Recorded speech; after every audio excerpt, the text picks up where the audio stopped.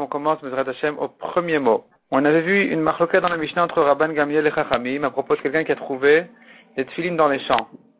Les tfilines en plein Shabbat, il a trouvé sur le champ, et il veut le rentrer dans la ville pour le surveiller, pour garder, pour pas que ça s'abîme, pour pas que ça se vole. Et on a vu dessus une marloquette dans la Mishnah, est-ce qu'il doit ramener paire par paire, une paire après l'autre, pas deux paires en même temps, ou bien il peut ramener deux paires en même temps? Selon Tanakama, une seule paire, selon Rabban Gamliel, deux paires. La avait expliqué de deux manières la marloquette de Rabban Gamliel et Tanakama. Première manière qui sont en discussion à savoir est-ce que Shabbat est un jour pendant lequel il faut mettre Tfilin ou pas. Selon Tanakama, il faut mettre Tfilin pendant Shabbat, donc il, ne peut mettre qu'une seule paire pour la mitzvah. S'il ne les met pas, pas pour la mitzvah, c'est interdit de les porter. Il ne peut les porter qu'en tant que mitzvah. Et donc une seule paire il peut mettre et pas deux parce que c'est interdit de mettre deux paires en même temps pour la mitzvah. Selon Rabban Gamliel, par contre, Shabbat n'est pas un jour de tfilin, donc il peut porter deux paires en même temps, sachant que les tfilines sont considérés comme un bijou, comme un vêtement. Selon Rabban Gamliel. Deuxième explication, on a vu, selon tout le monde, Shabbat est un jour pendant lequel il faut mettre les, tfilines.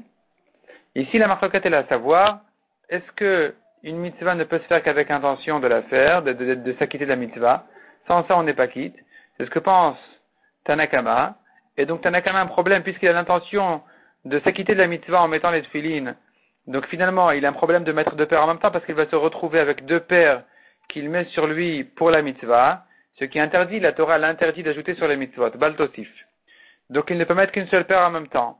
Selon Rabban Gamiel, il peut mettre deux paires en même temps. Parce que les mitzvot n'ont pas besoin de kavana. On peut s'acquitter d'une mitzvah selon Rabban Gamiel même sans avoir l'intention de s'acquitter de la mitzvah.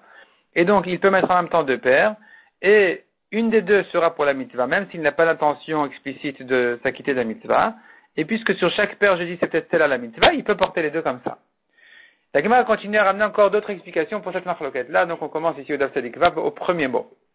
Veibaïtema, si tu veux, je te dis, dit la Gemara, découle à la tête le kavana. Selon tout le monde, on peut s'acquitter d'une mitzvah même sans avoir la kavana, l'intention de s'acquitter de la mitzvah. La Ici, la marloquette est à propos du baltosif. Quand la Torah interdit d'ajouter sur une mitzvah, c'est là-dessus qu'il faut savoir exactement dans quel cas c'est interdit. Les Tanakama savar lavor mishum baltosif le kavana. Selon Tanakama, pour transgresser le lave de baltosif, l'interdiction du baltosif, on n'a pas besoin de kavana, c'est-à-dire quelqu'un qui ajoute sur la mitzvah, même sans avoir l'intention de le faire pour une mitzvah, pour la mitzvah, il transgresse le lave de Baltosif. La Torah interdit d'ajouter sur une mitzvah, même si tu n'avais pas l'intention de le faire pour la mitzvah, c'est aussi interdit, interdit d'ajouter. Donc, on ne peut pas mettre ici deux paires en même temps, parce que la deuxième paire, même sans avoir l'intention de s'acquitter, elle est interdite, puisque c'est Baltosif. Gamliel Savar, par contre, Rabban Gamliel, lui, il permet deux paires en même temps, il pense que la Avor Mishum Baltosif Kavana. Pour transgresser le lave, l'interdiction de la Torah de Baltosif, il faut avoir l'intention de mettre les deux paires pour la mitzvah. C'est-à-dire, cet homme-là, il dit, il dit, la Torah, Hachem m'a ordonné de mettre une paire de tefillin, j'en mets deux. Dire j'en mets deux, alors que Hachem a dit d'en mettre une, c'est interdit de la Torah, c'est Baltosif. N'ajoute pas sur les mitzvot, ne crois pas ici le patron des mitzvot. Hachem t'a dit d'en mettre une, tu en mets une, sans discuter. Ici, si tu as eu l'intention de mettre la deuxième pour la mitzvah, tu fais la vera de Baltosif.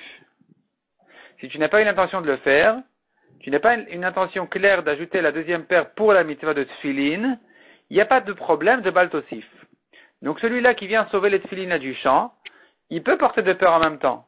Parce que puisqu'il n'a pas l'intention d'ajouter la deuxième paire pour la mitzvah, il n'y a pas ici de problème de Baltosif. Donc il peut porter deux Tfilin, deux paires en même temps.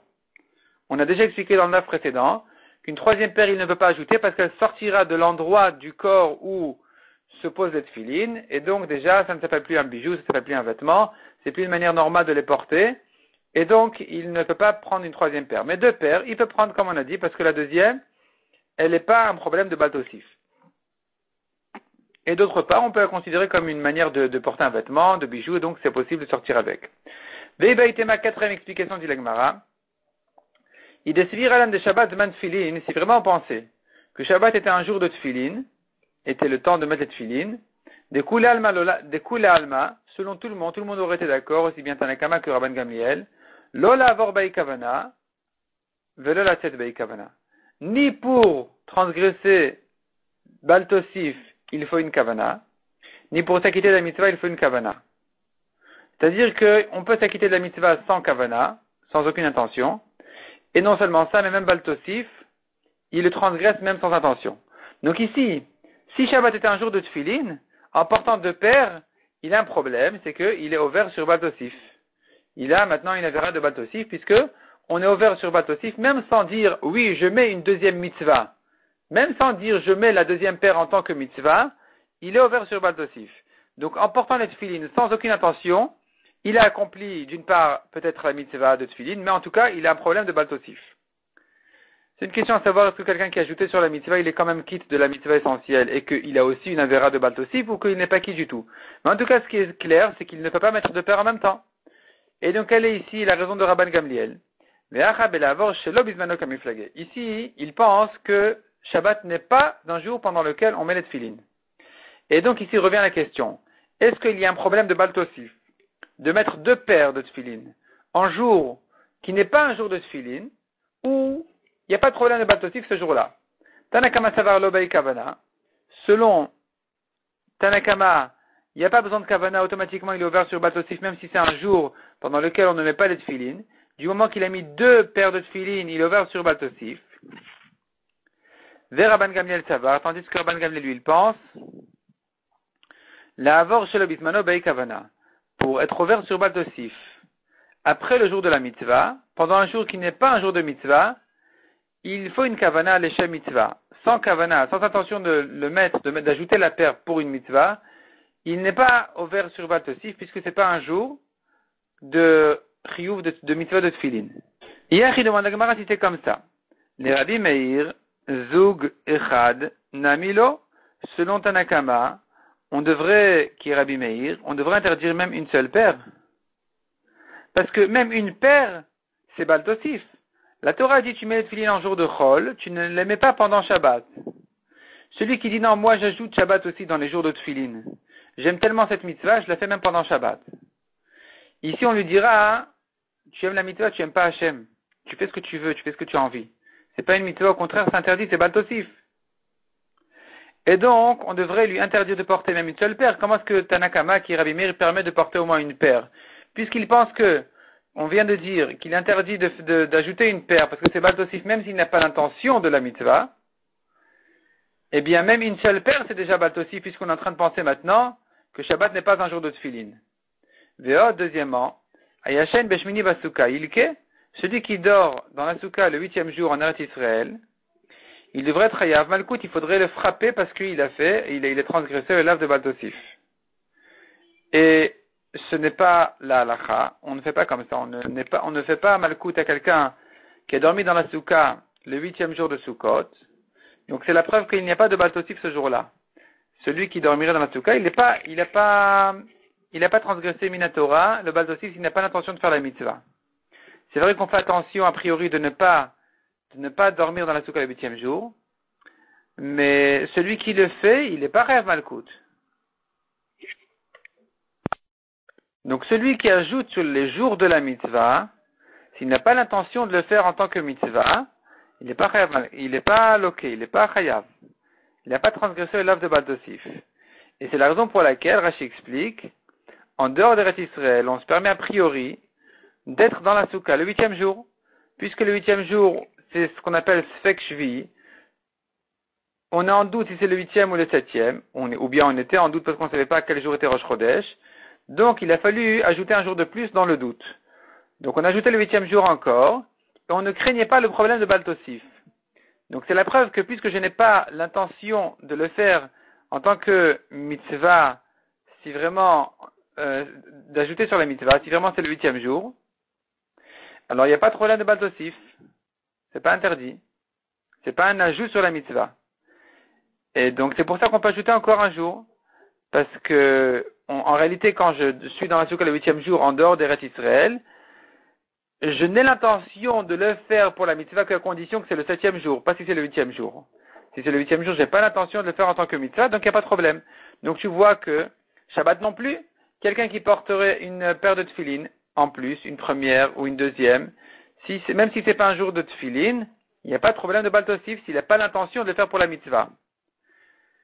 Et donc, comment on peut expliquer le problème de Tanakama qui interdit de porter une deuxième paire?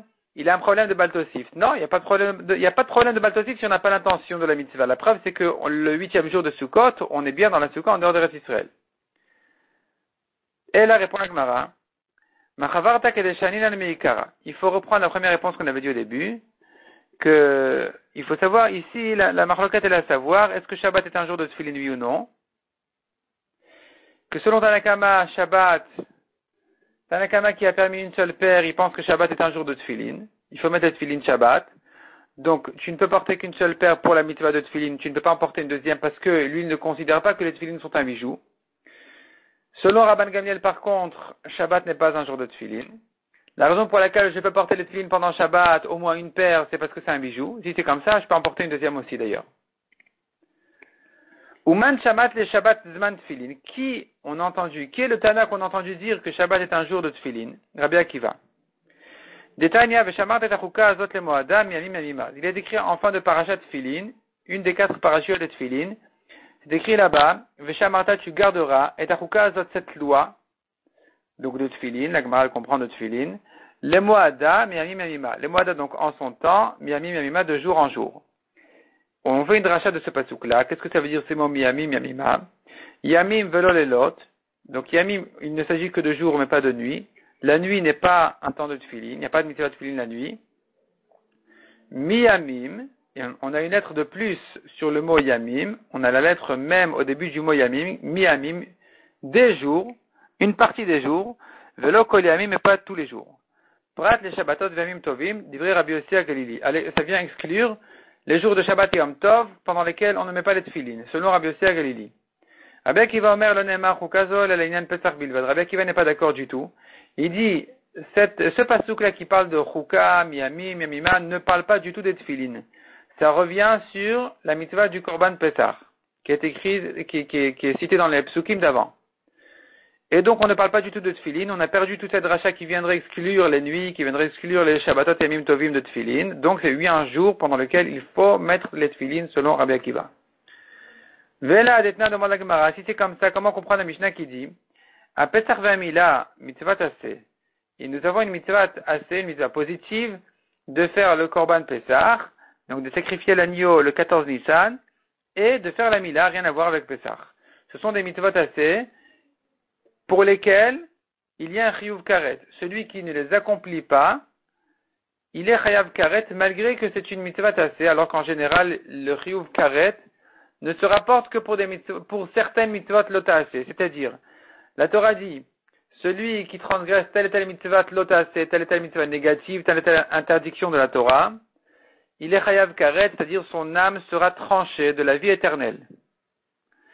Et ici, nous avons exceptionnellement deux mitzvot qui sont des mitzvot positives, des mitzvot assez, comme Pesach et pour lesquels on dit celui qui ne les a pas accomplis, il est chayav aussi karet.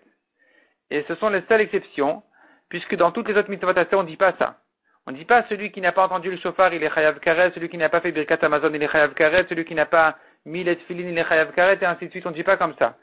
Sauf pour Pesach et. Donc on voit en tout cas que ces mitzvot-là s'appellent des mitzvot assez.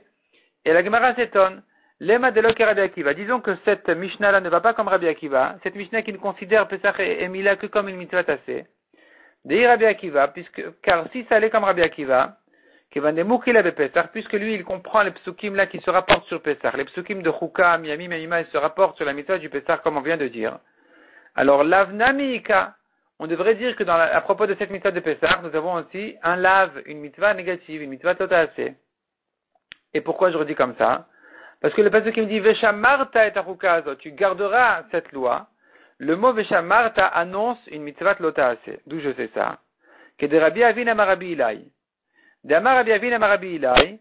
Kol Makom Sheneemar. Partout on voit dans la Torah une notion de Ishamer, où que la Torah s'exprime sous forme de peine, ve'al, ou bien de al, c'est-à-dire, ici la Torah dit Ishamer, Ishamer lecha, garde-toi, ça annonce immédiatement une mitzvah totale. Ne fais pas telle et telle chose. Peine, de peur que, c'est encore une fois une mitzvah totale. Ve'al, ou bien c'est ne fais pas comme ci ou comme ça, c'est à nouveau, et Noëlla, Belo, tout ça, sont, tout ça sont des mitzvot Lotaase. Et donc ici, quand on est en train de parler de Veshamarta et tu garderas la loi, ça vient signifier que la mitzvah de la mitzvah de Pessah, elle a aussi une mitzvah Lotaase. On n'a pas le droit de ne pas faire le Pessah. Donc quand tu me dis Pessah c'est une mitzvah assez sur laquelle il y a karet, non. Non, c'est parce que Pessah, il y a aussi une mitzvah Lotaase que je suis, qu'il est chayav karet dessus. Donc celui qui dit que Pessah est une mitzvah assez ne pense pas comme Rabbi Akiva qui dit que le pasuk de Veshamar et Achuka se rapporte sur Pessah. Réponds la Gemara à Rabbi Akiva, même si tu vas, tu veux dire comme Rabbi Akiva, eh bien, pas tous les mots Ishamer sont un lave. Ça dépend duquel. Donc la Gemara dit comme ça, Ishamer des lave, lave, Ishamer des assez, assez. Si nous avons un Ishamer qui est dans un contexte d'une mitzvah lota, c'est d'un lave, ça ajoute encore un lave si nous avons, c'est-à-dire comme ça, si la Torah se formule sous forme de, elle s'exprime sous forme de, de, lave, garde-toi de ne pas faire comme ça et comme ça. Ça s'appelle un lave. Comme Rachid nous ramène quelques psukim, berit. Garde-toi de, peur que tu, tu fasses une alliance avec les goïms. Ou bien, garde-toi de ne pas trébucher après eux. Ou bien, Ishamer Benegastarat, garde-toi de la, la tâche de la lèpre. C'est-à-dire, ça vient euh, faire allusion à une mitzvah, c'est de ne pas, de ne pas éplucher, de ne pas enlever les simanim de Touma qu'il a dans la tsarat. Par contre, si c'est un ishamer de assez, dans un contexte d'une mitzvah comme Pessah, la Torah m'ajoute le mot ishamer, veshamarta tu garderas, là-bas ça reste une mitzvah ça vient pas annoncer une mitzvah lota Donc même Rabbi Akiva sera d'accord que malgré que le mot Veshamarta se rapporte sur Pessah, selon lui, il n'y a quand même pas de mitzvah lotase dans Pessah. Demande à Gemara Rabbi Akiva Shabbat Zman Tfilin, ou est-ce que Rabbi Akiva pense vraiment que Shabbat est un jour pendant lequel il faut mettre Tfilin, va à Tanya. Rabbi Akiva Omer. Pourtant Rabbi Akiva dit dans une braïta, Tovim. J'aurais pu croire qu'un homme doit mettre les Tfilin Shabbat Yom Tov, Talmud Omar Vaya Lecha Leot Eliancha. La Torah nous dit sur les tfilin, et ce sera pour toi comme signe sur ta main. Mishetrichin hot, les jours qui ont besoin d'un signe, d'un signe qui, qui signifie que cet homme-là, il est signé juif, il est signé attaché à Hachem, il a le signe de l'Aïmouna sur lui, eh bien, pendant ces jours-là, il doit mettre les tfilin. Yatzou Elou sont sortis les autres jours, Shehen Gufan Hot Shabbat Yom Tov, n'ont pas besoin de tefillin parce que sont, ils sont eux-mêmes des jours de hôte, des jours de signes. Qui oti beni venechem, la Torah dit sur Shabbat. Shabbat est un jour de signe entre nous et Hachem. Donc on n'a pas besoin d'ajouter dessus les tefillin. Donc on voit clairement que Rabbi Akiva pense que Shabbat n'est pas un jour de tefillin. Alors comment est-ce qu'on a dit que selon Rabbi Akiva, euh, selon Rabbi Akiva qui pense que le pasuk de Miami Mayima se rapporte sur Pesach, et pas sur Tfilin, alors lui, il n'exclut pas les Shabbatot et Amim Tovim de Tfilin. Il pense que Tfilin, il faut les mettre pendant Shabbat et Yom Tov. C'est faux. Voilà ici Rabbi Akiva arrive, et pour une autre raison, il arrive à exclure les Shabbatot et Amim Tovim de la mitzvah de Tfilin. Il dit non, il y a déjà un hôte, on n'a pas les Tfilin. Donc on n'a toujours pas trouvé le Tana qui pense de ne pas mettre les Tfilin pendant Shabbat et Yom Tov. Euh, pardon, de 8 les mettre. On n'a pas trouvé le Tana de 8 les mettre pendant Shabbat et Yom Tov. Et la Haï Tanaou de Tanya. Voici le Tana qui pense comme ça. La Bretagne nous dit, Or Balaïla, celui qui est la nuit, Rata Cholet Rata Maniach, divrei Rabinatan. S'il veut Cholet, il enlève les tefilin. S'il veut Maniach, il les garde. Ou il est, même, il les met. Selon Rabinatan. Yonatan Hakituni Omer. Par contre, Yonatan Hakituni lui, il dit, En Manichin Balaïla. On ne met pas les tefilin la nuit. Tfilin, puisque, selon Tanakama, la nuit est un moment de tefilin, Shabbat namizman tfilin. Alors Shabbat aussi pareil, ce sera un moment de tfilin puisque Tanakama il pense qu'on peut mettre les tfilin même la nuit. Certainement il, pense qu'il en est de même pour Shabbat. Donc voilà on a trouvé un Tana qui pense comme ça, un Tana qui pense que les tfilin se mettent Shabbat, c'est bien Rabbi Nathan.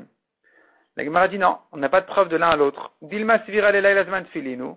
Peut-être qu'il pense que la nuit est un, moment de tfilin. Shabbat lavzman tfilinu. Et Shabbat par contre n'est pas un moment de tfilin. Pourquoi?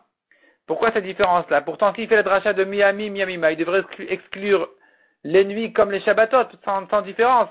La Gemara dit ici, on pourrait, oui, faire une différence selon la Svara de Rabbi Akiva. La deuxième raison qu'on a vue d'exclure Shabbat et Yom Tov des Tfilin, C'était celle de Rabbi Akiva qui disait, Shabbat et Yom Tov n'ont pas besoin d'un hôte, ils sont eux-mêmes un hôte, un signe, donc on ne met pas les tefilines. Ça c'est une raison qui expliquerait pourquoi ne pas les mettre Shabbat et Yom Tov. Ça n'explique pas pourquoi ne pas les mettre la nuit. La nuit on pourrait les mettre.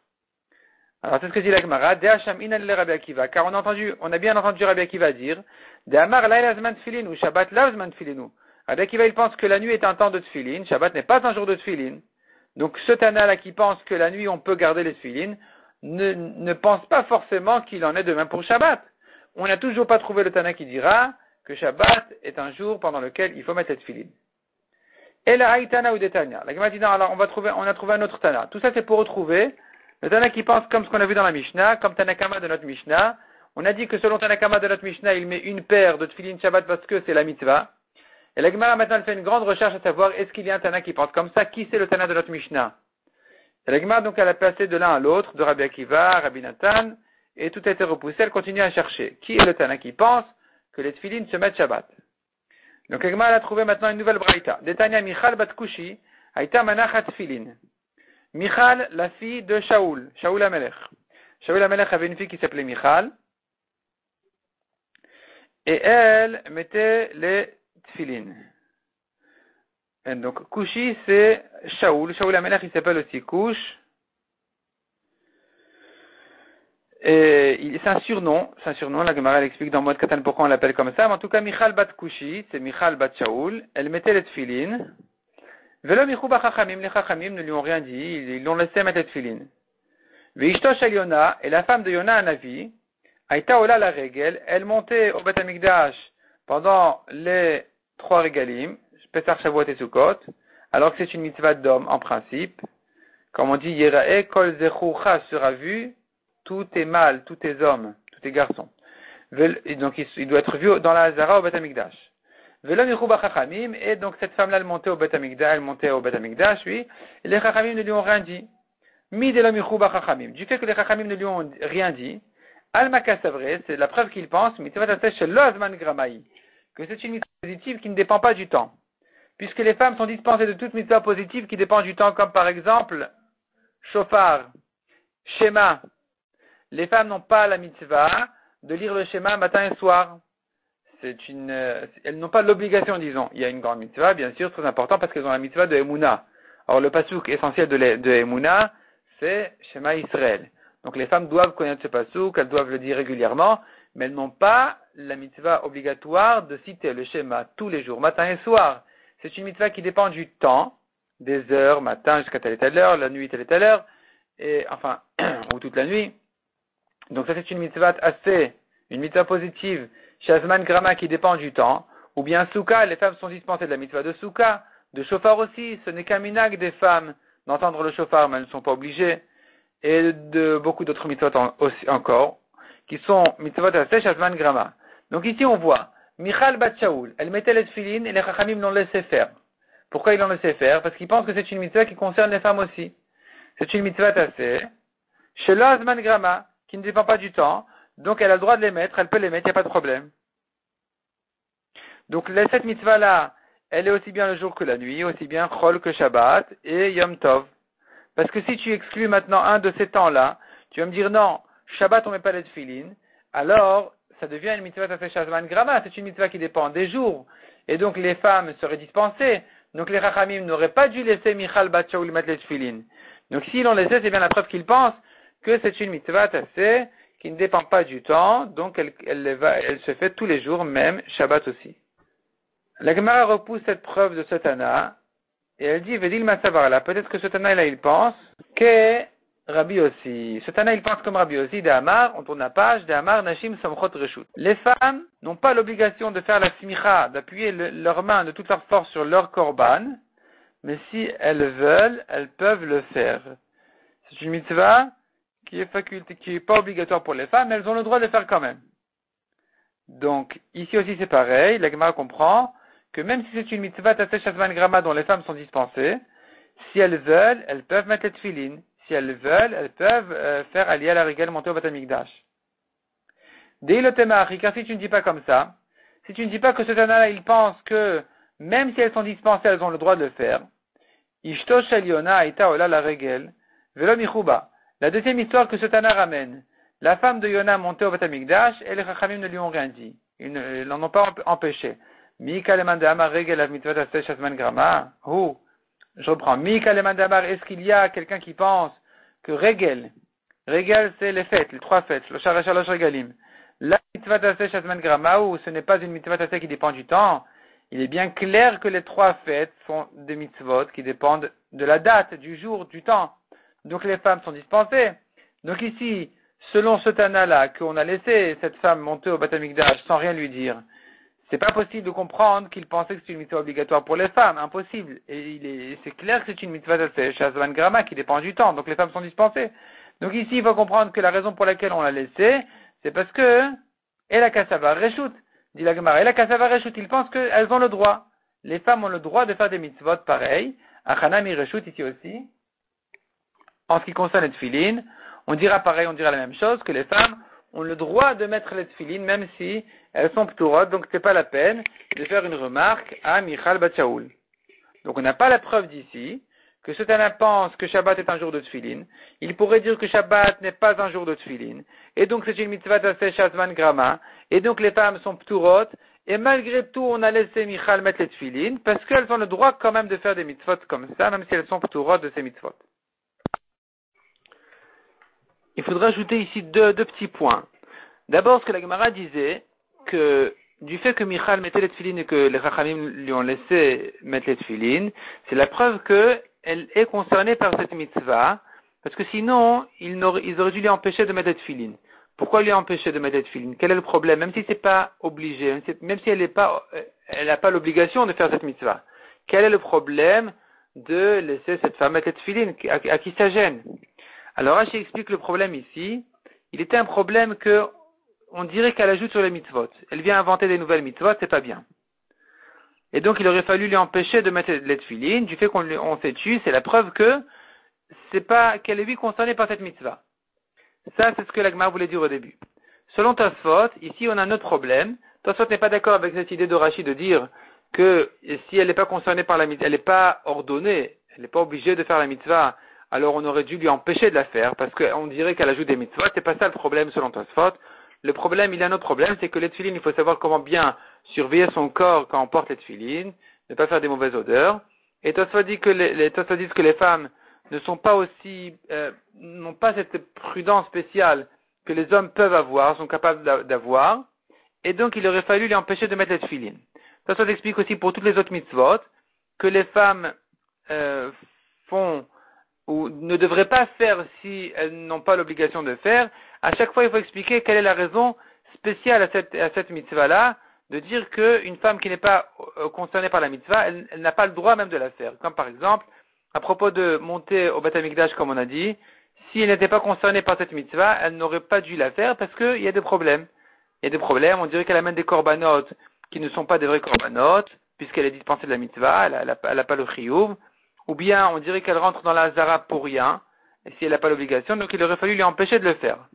Pareil pour mitzvah shofar, mitzvah smicha, d'appuyer ses mains sur le korban, à chaque fois on a un problème que si elle n'a pas le chiyuv de la mitzvah, alors on devrait lui empêcher de la faire. Ça c'est l'explication de Tosfot. Encore un deuxième point. Ici on a vu encore, selon Rabbi aussi, les femmes ont le droit de faire la mitzvah de smicha, d'appuyer leurs mains sur le, korban, même si elles n'ont pas l'obligation de le faire. Tosfot prouve d'ici, voyons Tosfot ici la première, enfin, la première grande ligne, oui, Dilma. Tosfot Ibramatril Dilma. Donc, on revient au Hamoud Aleph. Hamoud Aleph, le dernier Tosfot, Dilma savoir la Rabbi d'Amar, Nashim Samchot Reshut. Peut-être qu'il pense, comme Rabbi aussi qui dit, que les femmes ont le droit de faire la smicha. Samchot, elles font la smicha, reshut, elles peuvent le faire si elles veulent. Mikan Omer Rabbeinu Tam. D'ici prouve Rabbeinu Tam. Demutar les nashim les varer. Que les femmes ont le droit de faire la bracha. Al kol mitzvah tase shazman grama. Sur toute mitzvah tase shazman grama, donc sur toute mitzvah que les femmes n'ont pas le chiyuv de faire, ne sont pas obligées de faire, elles peuvent faire quand même dessus la bracha en disant Asher kideshanu b'mitzvotav vetivanu. Afalgav des pturot, même si elles sont pturot de la mitzvah, comme Michal Batchaoul, comme Michal, Shaita Mistama Gamevarechet, qui certainement, elle faisait aussi la bracha, Mistama que Michal, elle faisait aussi la bracha, et elle n'avait pas de problème de faire la bracha, malgré que elle n'a pas le chiyuv de faire cette mitzvah-là. Donc comment elle peut dire que Baruch Ata Hashem Asher Tivanu, quoi Tivanu? Hashem il t'a pas ordonné, pourquoi tu dis nous a ordonné? Rabbeinu Tam dit c'est pas un problème. Les femmes, même si elles sont pturot, donc même dans, les mitzvot desquelles les femmes sont pturot, comme les mitzvot Shazman Grama, elles peuvent faire dessus la bracha, et c'est comme ça que pense le Rama, c'est comme ça qu'on l'habitude des Ashkenazim, que les femmes ne se gênent pas de faire la bracha sur des mitzvot qu'elles n'ont pas l'obligation de faire. Donc comme par exemple, chauffard, comme par exemple euh, souka, loulav, euh, omer, et ainsi de suite. Les femmes ashkenazes, des femmes ashkenaziotes font la bracha de, sur ces mitzvot-là malgré qu'elles n'ont pas l'obligation de les faire. Par contre, il y a des rishonim qui ne sont pas d'accord avec ce rabbenoutam et qui pensent que on ne fait pas la, la bracha dessus. Les femmes, Michal par exemple, ne devaient pas faire la bracha sur les tfilines. Une femme qui est dispensée d'une mitzvah ne fait pas la bracha dessus parce que comment elle va dire nous il nous a ordonné Il ne t'a pas ordonné à toi personnellement en tant que femme, il a ordonné en général les hommes, le peuple juif en général, oui, mais pas toi, ça ne concerne pas, tu ne veux pas dire Vetivanu. Puisque tu ne peux pas dire Vetivanu, donc les femmes, selon les Sfaradim, ne font pas de bracha sur les mitzvot qu'elles n'ont pas l'obligation de faire. Donc une femme qui prend le loulav, qui entend le chauffard, qui mange dans la souka, qui fait spirata omer, si elle est sfarad, elle ne fait pas de bracha. Si elle est ashkenaz, elle pourrait faire une bracha. Sauf spirata omer, on, on craint qu'elle risque d'oublier un jour, et donc euh, ici, il vaut mieux qu'elle ne fasse pas la bracha. Sauf si vraiment elle est certaine que sans doute elle n'a rien à craindre et qu'elle va faire toutes les, tous les jours au spirata omer. Dans ce cas-là, elle pourrait faire aussi théoriquement la bracha, mais en général, c'est pas vraiment le cas. Donc euh, pour ça, pour ça non. Mais les autres mitzvot, les femmes, les femmes selon les sfaradim ne font pas la bracha, selon les ashkenazim font oui la bracha. Encore un petit mot, Pesach, c'est une mitzvah tassé shazman grama, de manger par exemple la matzah, ou les autres mitzvot du soir du seder, malgré tout les femmes ont l'obligation de les faire. Les femmes sont concernées tout à fait comme les hommes de toutes ces mitzvot-là, puisqu'elles sont, elles, sont aussi concernées par la sortie d'Égypte. Donc elles ont la mitzvah de, manger de la matzah le soir du Pessah, et toutes les autres mitzvot, elles doivent donc faire toutes les brachot, même pour les Sfaradim, sur les mitzvot du soir du Seder. On reprend maintenant là où on en était, dans la Gemara. Donc on avait tourné la page, on était à la cinquième ligne. Et la Haïtanaï de Tanya. La Gemara, elle est toujours en train de chercher qui est le Tanya qui pense que les, les se mettent Shabbat. Donc la Gemara, maintenant, elle propose encore un Tana de plus, puisque jusqu'à présent, tout ce qu'on avait prouvé, tout ce qu'on a voulu ramener comme Tana, comme Tanaïm, comme Braïta, tout a été repoussé. Donc la Gemara, maintenant, elle retrouve encore un Tana de Tanya, Amotet Tfilin, Machnisan, Zug Zug. Celui qui trouve des Tfilin pendant Shabbat, qui sont pas surveillés dans les champs ou dans un endroit où ça peut s'abîmer, il les prend, il les porte une paire à la fois, pas deux paires en même temps. Zoug, zoug. Echadaïsh, vechadaïsha, aussi bien un homme qu'une femme. Une femme qui trouve des tefilines dans un endroit abandonné, elle les, elle les porte sur elle comme si elle mettait les tefilines. Echad chadashot, vechad yeshanot, Rabbi Meir. Aussi bien des nouveaux tefilines que des anciens tefilines. C'est-à-dire non seulement les anciens tefilines, on voit que été mis pour la mitzvah, que même des nouveaux, on ne sait pas si c'est vraiment des tefilines de mitzvah ou ce n'est qu'un kamea.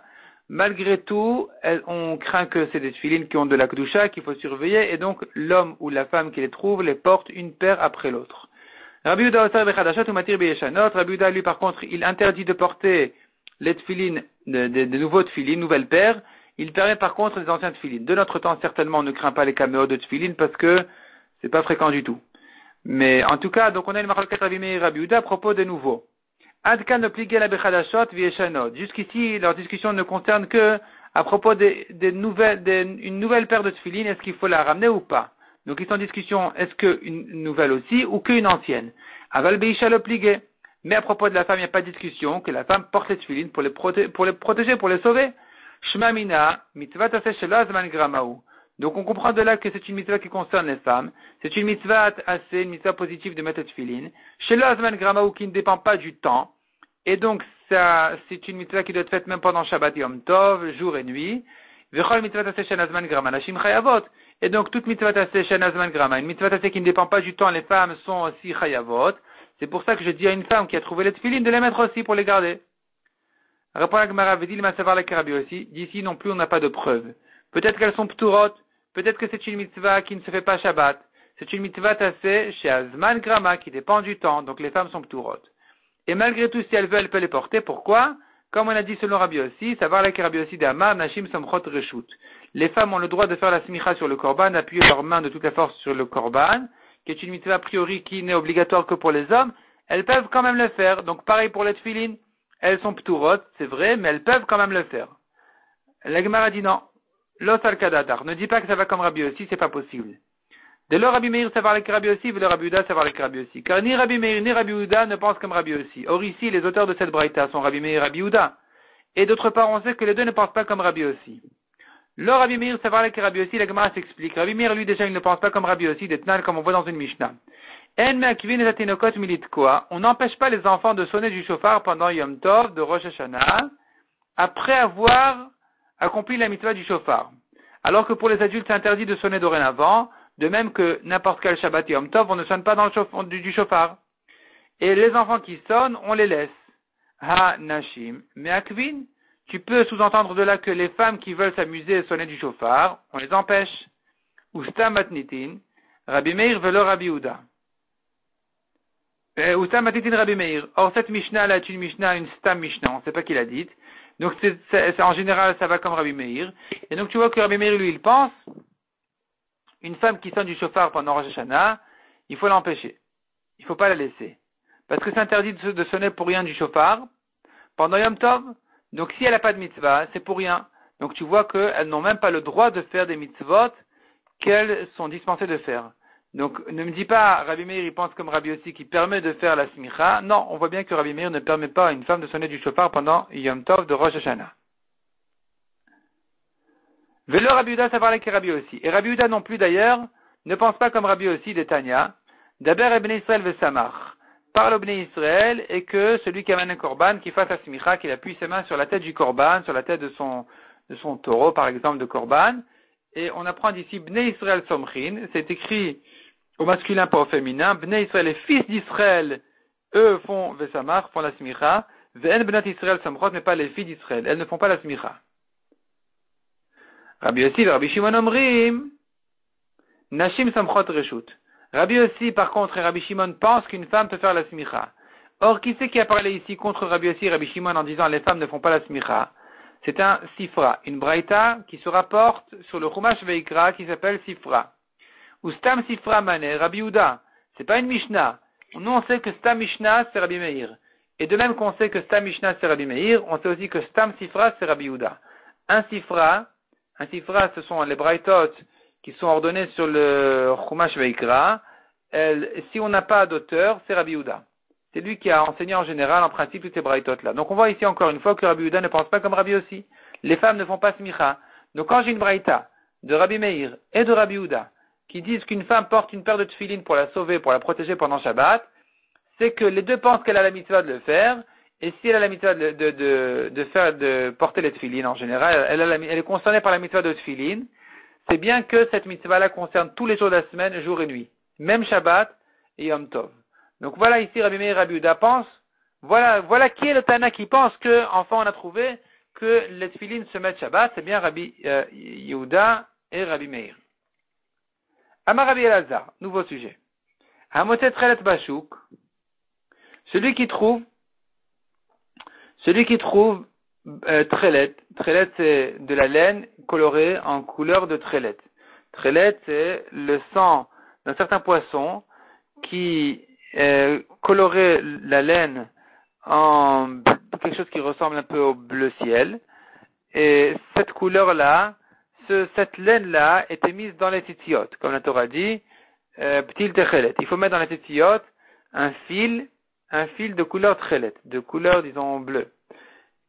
Et quelqu'un qui trouve maintenant, il trouve du trélette, on va l'appeler tout court trélette, il trouve du trélette maintenant bachouk, dehors. Leshonot, psulot, choutin, ksherin. Si c'est, Rashi explique, leshonot, Rashi explique, qu'est-ce que c'est que leshonot? Semer sarouk vetsavoua, c'est de la laine qui était peignée et colorée. Ça, c'est pas soul.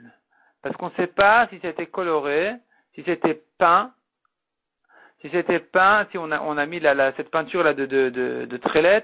Il faudrait le faire avec l'intention que ça serve à la mitzvah de tzitzit. Il faut faire la mitzvah lishma. Et donc ici, je ne sais pas si c'était fait en tant que tzitzit, donc euh, c'est pas soul. Par contre, routine, si ce sont des fils, il a trouvé des fils de trélette, c'est cachère. Et la question se pose, Maïshna Leshonot, de Amar, quelle est la différence entre la laine pas, filée? On a dit dessus, Adat Adegli Matavinu. Il les a, il, les a, il les a peints en trélette en tant que glima pour son manteau, pour ses vêtements, pas pour ses titiotes. Routinami Neima. Pareil pour les filets, on devrait craindre la même chose. On devrait dire Adat Adegli Matavinu, peut-être qu'il les a filés non pas pour son titit, pour sa titiote, mais pour ses vêtements. Qui, pourquoi dire que c'est caché? Qui dit qu'il les a fait les shem titit Répond la Gemara Beshezurim. Beshezurim, c'est-à-dire qu'il a, il a fait plusieurs fils en même temps, il a filé plusieurs fils en même temps, comme nos, nos qui sont épais, donc il y a plus que l'étape de filet. Et là, on n'a plus l'habitude ensuite d'en faire des, des tissus, d'en faire des vêtements. Donc certainement c'est pour la mitzvah de titit. Demande à Zurim Nami, Nema Data de Shifta de Glima et Finu. On devrait dire aussi pareil ici, qu'il avait l'intention toujours de les faire pour euh, son manteau, pas pour les titiotes. Donc Shzurim Nami, même quand c'est déjà en état de Shzurim, de plusieurs fils en même temps, on devrait dire Adam de Shifta de Glima, il avait l'intention de l'utiliser pour les, franges de son manteau. Aïfinou, c'est pour ça qu'il les a fait, il, les a filés comme ça. Répond la grammaire de Moufsakin. Les Moufsakin, c'est-à-dire, les fils sont déjà coupés, ils sont pas longs, et donc là, certainement, il n'avait pas l'intention de faire des nœuds pour euh, rallonger le fil, pour ensuite l'utiliser pour ses vêtements. Certainement que ça c'était destiné à servir pour les titiotes, et donc c'est cachère. Du coup, là, il va le tachinchi, car tellement les gens ne se fatiguent pas pour garder ces fils pour, pour leurs vêtements, certainement c'est pas à ça que ça sert, et donc c'est cachère. Amar Rava, Adam Kemin Filin, Rava s'étonne sur cette svara. Il dit, est-ce qu'un homme se fatigue à faire des tfilines pour un kaméa? Il fait un kaméa sous forme de tfilines, de faire, de préparer des tefilines, c'est un grand travail. C'est un grand travail de faire des boîtiers comme il faut. Il faut les acheter chez quelqu'un qui soit suffisamment compétent suffisamment même, qui, qui connaisse la lachot, qui sache comment le faire et qui soit, qui, soit prudent, qui fasse exactement comme il faut faire. C'est un gros travail de faire les tefilines correctement. Et tu vas me dire que ça peut être, ça peut être peut-être un, ça, peut être un, un caméa. Pourquoi ça sera un caméa? Qui sait qui va se fatiguer pour un petit caméa? De faire ça comme des tefilines. Detnan bamet varim comme on a vu dans la Mishnah. Quand est-ce que je dis qu'il faut sauver les tefilines? Beyeshanot. Aval bechadashat patour. Que si c'est des tefilines anciens, on sait que c'était mis pour la mitzvah, mais pas quand c'est des nouveaux. On n'a pas, on voit pas encore les nœuds que c'était préparé comme vraiment, euh, pour porter comme des tefilines. On doit craindre que c'est peut-être un kaméa. Pourquoi craindre que c'est un kaméa? Amar Abizera, Les Ava Bere. Rabbi Zera dit à son fils Ava, Puktanileu va rassurer ici les, les Talmidei qui sont en discussion sur la svara de Rabbi Elazar qui a dit des fils c'est cachère. Ils ont un problème. Pourquoi c'est cachère? On a dit non parce qu'il va pas se fatiguer à nouer ses fils pour les prolonger, pour en faire un grand fil pour ses vêtements. On a demandé dessus, mais si, on voit bien qu'un homme se fatigue à préparer un caméa comme tfiline. Alors va leur enseigner, Puktanileu sort leur enseigner, leur, euh, va, leur ramener une braïta qui dit clairement qu'il a raison. À Motet Trelet Bachouk, celui qui trouve du trelet dehors, les shonat psoulin, si c'est que de la laine, c'est pas soul. Mais si c'est choutin, moufsakin, ksherin, si c'est des fils qui sont coupés, alors c'est kacher. Les fiches en adam torer, car un homme ne se fatigue pas. Donc voilà ici la preuve que Rabbi Elazar a raison. Donc toute leur discussion, euh, ils ont du mal à, accepter les paroles de Rabbi Elazar, et eh bien qu'ils sachent que c'est une breta clairement qui pense comme lui. Amar Rava. Et finalement la Gemara dit non, on n'a rien gagné. Rava a dit, ou mishum de tanila ava bere de Rabbi Zera. Et est-ce que c'est parce que maintenant Ava, fils de Rabbi Zera, qui nous ramène une braïta comme Rabbi Elazar, alors qui pétalala, il a, il a accroché dessus des, perles, des, pierres précieuses. Est-ce que maintenant on a compris mieux qu'avant? On n'a toujours pas, il nous a pas résolu le problème. Veatnan, Or, nous avons vu dans la Mishnah, le, quand est-ce que je permets de porter une paire de tefilines C'est que si c'est des tefilines yeshanot. Aval bechadashot, c'est que si c'est des tefilines anciens qui ont déjà été portés avec les nœuds de tefilines et tout ça. Mais si c'est des nouveaux tefilines, on ne sait pas encore exactement, on n'a pas fini de les former comme, des, des vrais tefilines. Patour, il ne les prend pas pendant Shabbat parce que je crains que c'est un caméra. Donc, donc tu vois bien, tu vois bien que cette svara de dire un homme ne fatigue pas, est contredite de notre Mishnah. Elle est de, notre Mishnah. Notre Mishnah pense qu'un homme se fatigue à préparer peut-être un caméa, même euh, comme des tefilines, avec toute la fatigue des tefilines. Et la Marava répond à la Gemara, Tarar velo tanaï. Cette question-là, est-ce qu'un homme se fatigue pour quelque chose qui n'est pas obligatoire? Est-ce qu'il va se fatiguer à faire toute une préparation comme pour la mitzvah alors qu'il ne l'utilise pas pour la mitzvah? Cette euh, là c'est une marloquette anaïm. Donc finalement, Rabbi Elazar, effectivement, il sera objecté de notre Mishnah, qui pense qu'un homme pourrait se fatiguer. Un homme se fatigue à préparer un caméa comme des tefilines lui, Rabbi Elazar pense qu'un homme, ne se fatigue pas à préparer un fil de, de pour euh, des titiotes, pour autre chose que des titiotes. Et donc, il est contredit de notre Mishnah, mais il y a un autre Tana qui pense comme lui. Détania Moses Filin, Marnisan Zug Zug, car on a vu dans une braïta. Celui, c'est la braïta qu'on avait citée en haut, celui qui a trouvé des tefilines, il les ramène père par père, et Chadaïsh ve aussi bien l'homme que la femme, et Chad Chadashot ve Chadishanot, livré Rabbi Meir. Aussi bien des nouveaux tefilines que des anciens tefilines selon Rabbi Meir.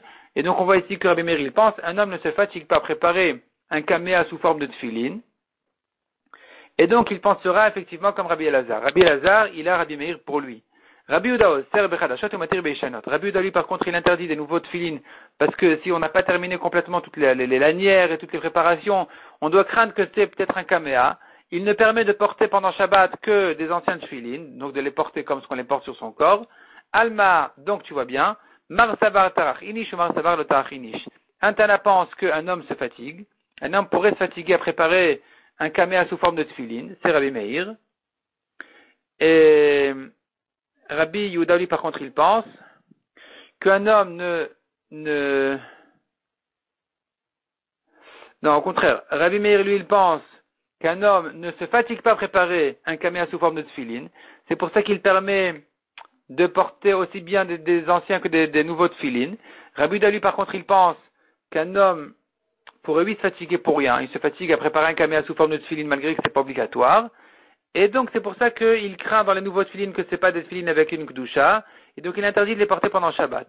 Donc, finalement, Rabbi Elazar qui avait dit un fil très laid, il est caché pour titit, pour les titiotes, eh bien, il pense, lui, il pense qu'un homme ne se fatigue pas si ce n'est pour la mitzvah. Donc, certainement, c'était préparé pour la mitzvah lui, il pense comme Rabbi Meir, qu'un homme ne se fatigue pas pour rien. Et donc, il va permettre aussi les titiot. Par contre, selon Rabbi Houda, effectivement, Rabbi Houda qui pense qu'un homme pourrait se fatiguer à préparer un caméa sous forme de, de tefilin, lui, il va aussi interdire d'utiliser un fil de trélette qui a été trouvé dehors, parce qu'il va dire peut-être qu'un homme se fatigue à le préparer pour ses vêtements, malgré que c'est une fatigue a priori qui paraît pas n'est pas obligatoire, on doit, on doit le craindre quand même, et donc on ne pourra pas l'utiliser pour cette idiote. Donc finalement, Rabbi Elazar qui permet, il ne pense que comme Rabbi Meir. La va continuer à tourner autour de ce, ces raisonnements-là. On va s'arrêter là pour le moment. Shabbat Shalom.